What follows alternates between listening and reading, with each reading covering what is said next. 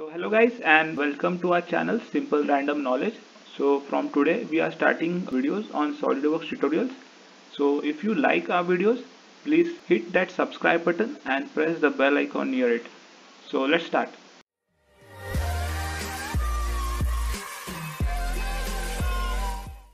SolidWorks this kind of interface will be open in front of you so here is the file option then view tool and help option if you want to start a new drawing then click on new option. Which is the shortcut given here. So after pressing this option this kind of pop-up will be open. The, there is a part then there is assembly and there is a drawing. Basically you can make a part then assembly of that part and then make a drawing from it. So we are going to start with a part drawing. So click on the part and then click on the ok button.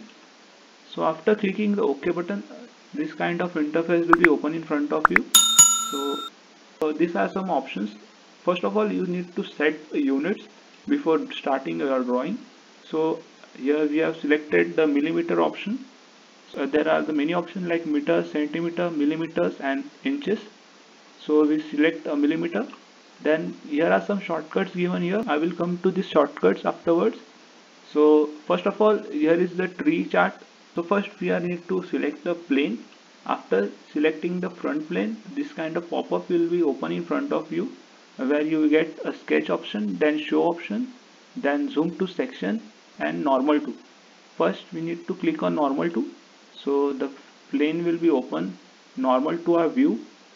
So uh, after selecting the plane here are the options related to sketch. So first we are going to start with the line so after selecting the line there are three options that comes in front of you like a line then center line then midpoint line.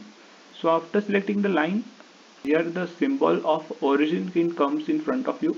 So we start our line from the origin some distance and then we uh, press the escape button. So you see here the black uh, color line will come in front of you. That shows your drawing is fully defined. That shows your line is fully defined actually. And if you see I select a line and I will draw a line at a side which is not at relation to an origin. So you can see the color difference. Like here is a black color and here is a blue color. The blue color shows that the line is not fully defined and the black color shows that line is fully defined. So we need to make a sketch fully defined every time. So how to make this line fully defined? So press on this line.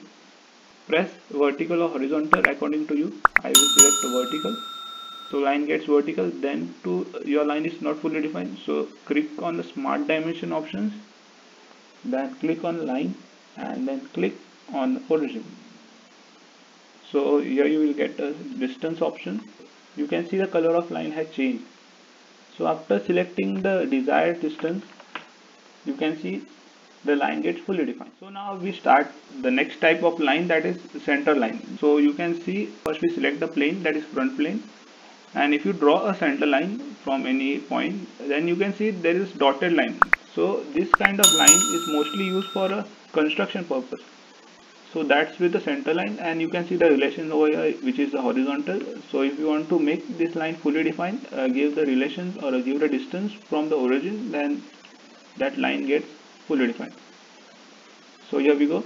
Line gets fully defined. So talking about the next type of line that we have with us is uh, midpoint line so what is the purpose of midpoint line? So again we uh, select a plane over here.